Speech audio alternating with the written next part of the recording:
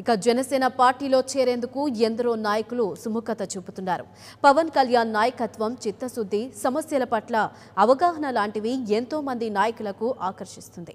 ప్రజా సమస్యలపై ఫైట్ చేస్తున్న పవన్తో కలిసి పని చేయాలంటున్న పంతం నానాజీతో మా ప్రతినిధి Netaji face to face.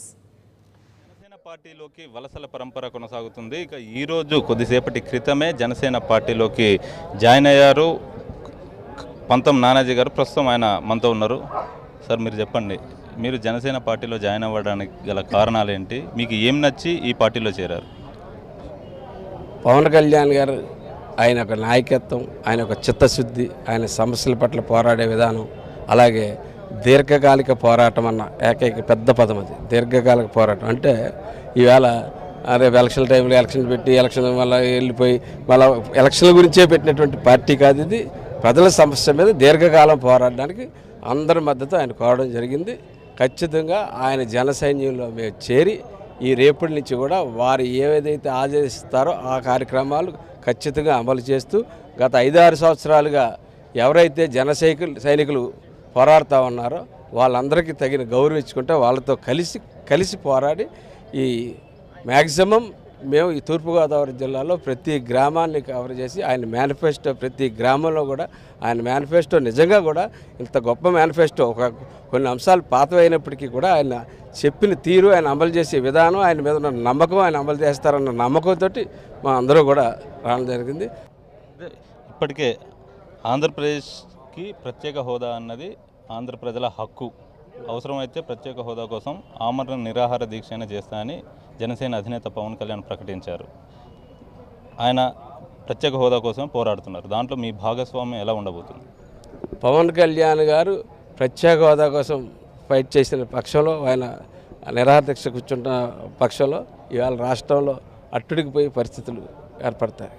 కాబట్టి ఆయన నిరాదీక్ష కన్నా ముందు ఆయన ఆయన మాటగానే వెళ్ళడంగా మంచిదని ఆలోచిస్తున్నాను ఒకవేళ ఆయన నిరాదీక్ష కానీ చేస్తే మా పూర్తి స్థాయి మద్దతు క్షేత్రస్థాయిలో ప్రతి గ్రామంలో కూడా ఆయనతో పాటు మేమందరం కూడా నిరాహార దీక్షలు ఏ గ్రామానికి ఆ గ్రామాన్ని నిరాహార దీక్షలు కూర్చుని ఆయనకి పూర్తి స్థాయి మద్దతు ఇస్తాం. ఇటు చంద్రబాబు నాయుడు కూడా ఒకటే చెప్తున్నారు నా ఎక్స్పీరియన్స్ రాష్ట్రానికి ఎంతో అవసరం.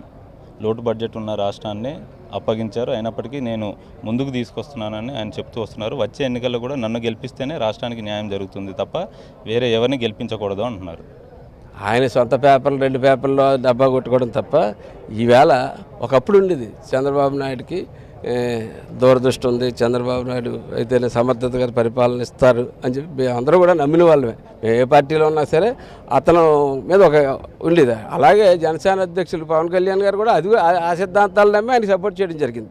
కానీ ఆయన మాటలు చేతలు వయసు మీరిపోయింది. ఆయన ఇంక చేసిన పరిస్థితి ఆయన ఎవరో నడిపిస్తున్నారో ఆయన బుద్ధి ఎలా మారిందో తెలియదు ఈవేళ అయితే ఆయన మ్యాండేట్ కోల్పోయిన వ్యక్తి ఆయన గురించి పెద్ద మాట్లాడాల్సిన పని లేదు. అంటే రీసెంట్గా కూడా ఆయన నారా హమారా మైనార్టీస్కి సంబంధించి ఒక సభను పెట్టారు. నారా హమారా టీడీపీ హమారా అని. మైనార్టీలంతా కూడా మన వాళ్ళే టీడీపీ వారికి అండగా ఉంటుంది అంటూ అన్నారు.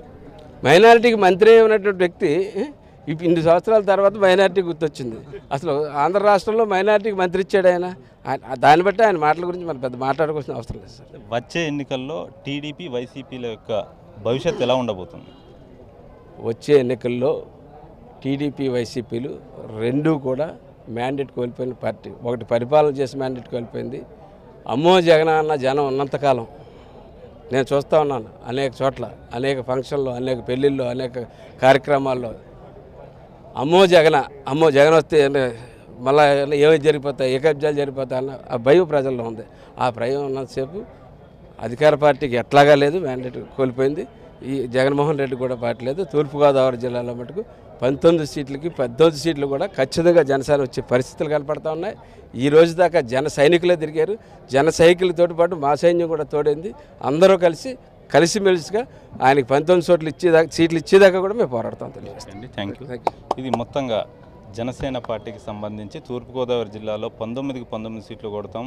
జన సైనికులుగా పవన్ కళ్యాణ్కి అండగా ఉంటామంటూ పంతం నానాజీ చెప్తున్నారు. అలానే వైసీపీ టీడీపీ పార్టీలు ప్రజల యొక్క విశ్వాసాన్ని కోల్పోయి వాటికి వచ్చే ఎన్నికల్లో రాజకీయ భవిష్యత్తు ఉండదంటూ కూడా పంతం నానాజీ చెప్తున్నారు. Cameraman D రాజేష్తో Netaji Kodiyar ninety nine TV Janasena party కార్యాలయం హైదరాబాద్ నుంచి. For more updates please subscribe ninety nine TV Telugu.